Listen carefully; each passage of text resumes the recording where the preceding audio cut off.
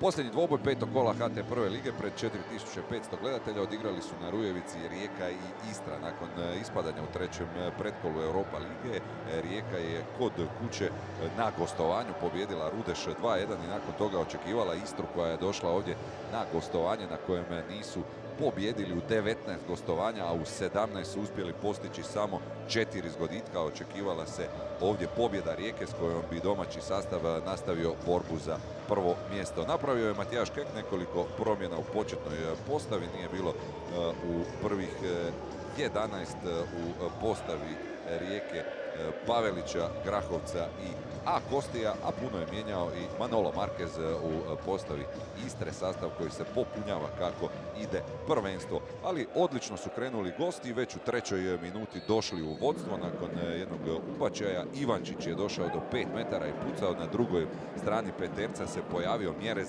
i gurnuo loptu u mrežu za 1-0. Situacija koja je izazvala dosta prosvjeda domaćih igrača koji su smatrali da je Mjerez u zaleđu.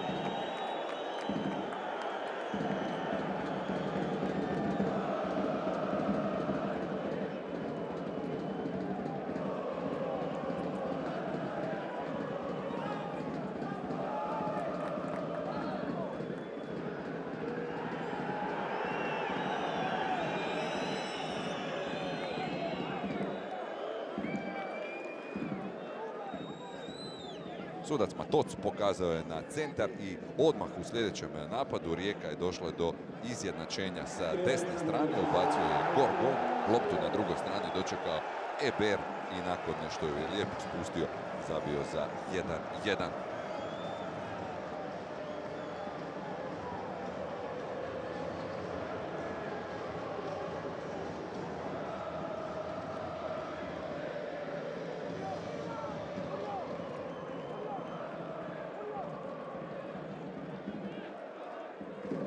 Igralo se jako dobro. Istra se nije samo branila, već u devetoj minuti imali su novu priliku. Vrlo raspoloženi Mjerez vratio je loptu Segadu koji puca sa 20 metara, ali pored gola. U 17. minuti Istra je došla u vodstvo. Punčec je bio vrlo neoprezan, dozvolio Mjerezu da mu uzme loptu, a mladi Argentinac koji je na posudbi iz Tigreja taj poklon koristi, bježi i zabija za 2-1.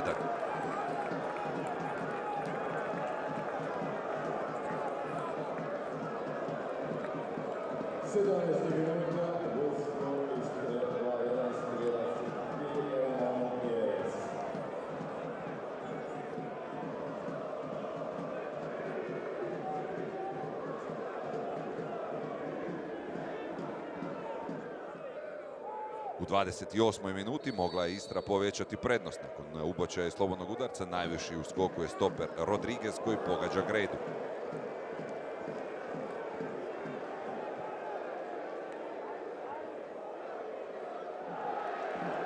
A u 30. Rijeka se još jednom vraća u igru. Lončar je pronašao Ebera odličnom loptom, a Brazilac zabija loptu za 2-2. Drugi zgoditak Ebera.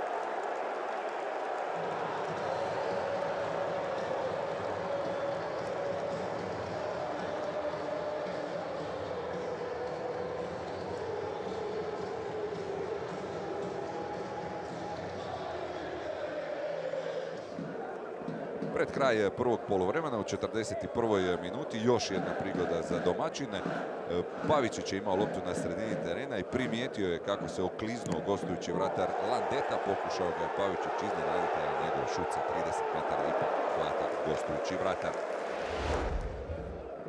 2-2 bio je rezultat s kojim se otišlo na odmor. U drugom dijelu igralo se vrlo oprezno. Prvu priliku vidjeli smo u 64. minuti i to velika prilika Istre. E, novi ubačaj iz kuta Ivančića. Opet je Rodriguez sam u kaznenom prostoru. Njegov udarac glavom na crti čisti Raspopović.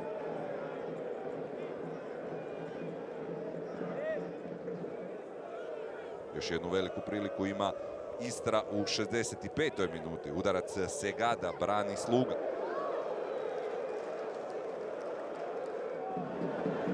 Nakon toga je Rijeka pritisnula i počela stvarati prilike. U 71. ubače Raspopovića, Gorgon puca glavom, ali šalje loptu pored gola.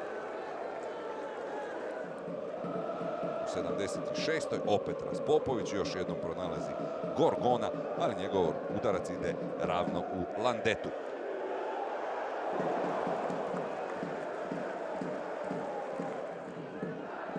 I nakon toga u 79. minuti Rijeka dolazi u vodstvo. Lončar je još jednom e, pronašao e, Puljića. Puljić gura za Ebera. Eber e, uspjeva iznenaditi Landetu koji je izašao skratiti put i šalje loptu pored nemoćnog gostujućeg vratara za 3-2.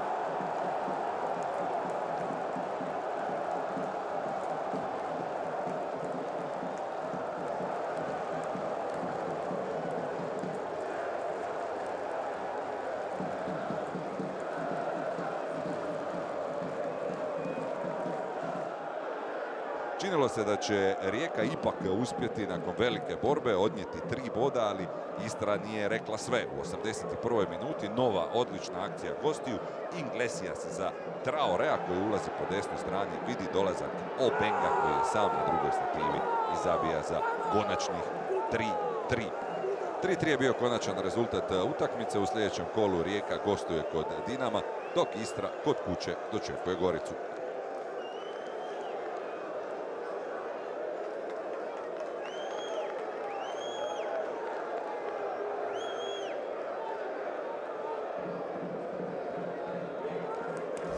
For me, we have uh, today a very, very, very good performance against a very strong team. Uh, we score, first of all, uh, again, 1-2 or 2-1, but uh, for me the most difficult thing is in the second half when they really they uh, press uh, our goal. They get, they got the, the third goal, but our team, for me, deserved to, to equalize the, the game. Mislim da je rezultat realan, da a, posle ovakvih greška, posle takve neodgovornosti, a, dobro da smo a, se vratili i opet onda toliko individualnih neodlučnosti, toliko nonšalancije, jednostavno Istra odigrala poštenu utakmicu, imali čak, možda čak i više šanse nego mi, tako da sigurno da je razočarenje veliko, ali jednostavno u ovom momentu mi ne, previše e, tih neforsiranih grešaka, naročito u zadnjoj liniji, jedno malo duše, jedno ovako nezainteresiranost pojedinaca, tako da danas nismo više od tog boda ni zaslužili.